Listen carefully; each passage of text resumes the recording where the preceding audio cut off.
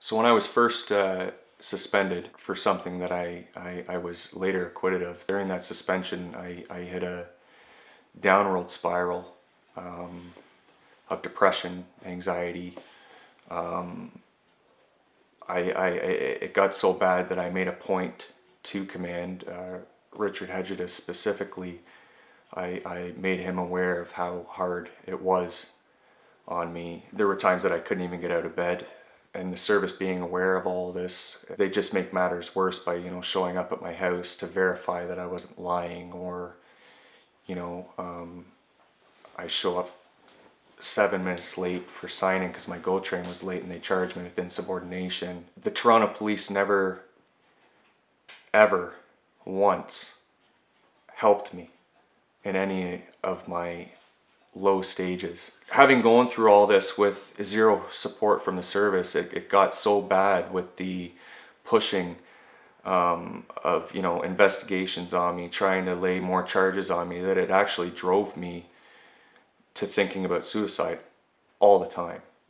If I was awake, I'd be thinking about suicide, thinking about ways to do it, thinking about where to do it, best time to do it, things like that. When I was awake, that's what I thought about, and it, it that those demons forced me into a, a, another spiral of you know trying to drown out those feelings by drinking, and I was trying to get away from the feeling of of you know committing suicide, you know, and and and the feeling of depression and anxiety and knowing that I have. Uh, multiple charges over my head that I need to deal with based on all at the same time based on something that I didn't do.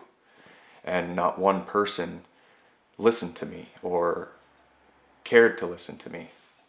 You know I, I was by myself essentially in that I mean I had support from my friends but I never had one ounce of support from the service. Instead I had Richard Hedges hanging me out to dry type deal.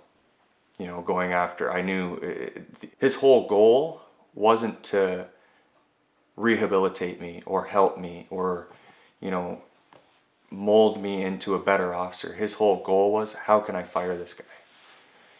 I, uh, any chance he got to lay a charge on me, he laid a charge on me. Never once, even after I went up to him crying in the lobby of headquarters, um, explaining how hard this was on me. Never once did he ever offer me any help.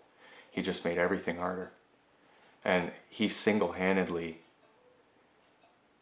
traumatized my career in the sense that I don't know if I could ever go back. He single handedly almost drove me to suicide.